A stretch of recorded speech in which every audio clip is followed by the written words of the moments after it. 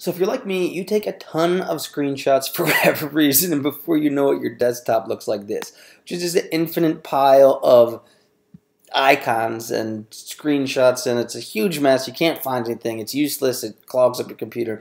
And why can't you just save your screenshots to a folder? Well, you can. Not it's not an obvious way, but it's an easy way. And I'm going to show you guys how to do that. But first, if you don't know, to take a screenshot, it's real simple. Hold down Command Shift and 3, and that will take a picture of the entire screen. Or if you do Command Shift and 4, you can then select a section of the website or the screen or whatever you're taking a screenshot of. So to do this, first thing you want to do is open up Terminal and just search for Terminal. It'll be the first hit and you just pop it open. And you're going to want to paste some lines of code there. Check isource.com for the specific code. Now what you can do first is create the directory that you want to make the uh, to save your screenshots in or you can just use this script uh, or this line of code that will create it for you. But it's really no different than going in there and just um, creating a folder. What we're going to save where we're going to save our screenshots is to the documents screenshots folder. Before you can do that you need that folder to exist so go ahead and create it or just paste that in there. That will make the directory.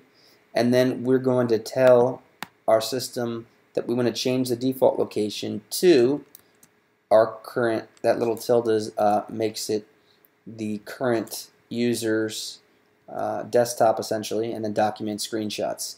So now we're going to paste that in there.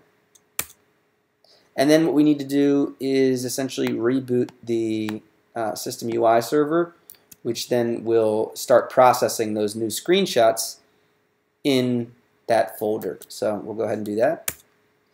And there you go. Now it should be done. So let's just close terminal and uh, let's go and actually look at our documents now. And you can see it created this screenshots folder and I'm going to go to uh, isource.com and just take a pretend screenshot. So I'm going to do Command Shift 4 and I'm going to highlight this and send this to my web developer because hey, there's a missing image for one of our featured articles uh, and I want to share that with them.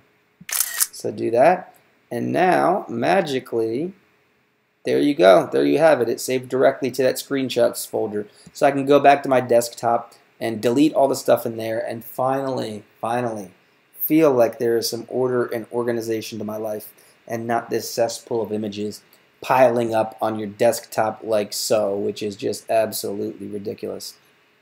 The other thing you may want to do if you use Google Drive or Dropbox or another cloud uh, saving file system, set the screenshot destination to a screenshots folder in there.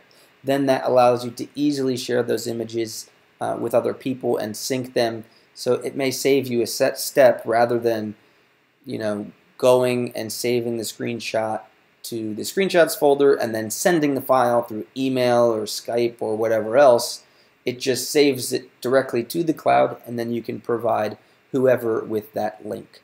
So that's just a really quick look at how to how to save your screenshots to a folder or change the destination uh, of your screenshot saved on Mac or MacBook.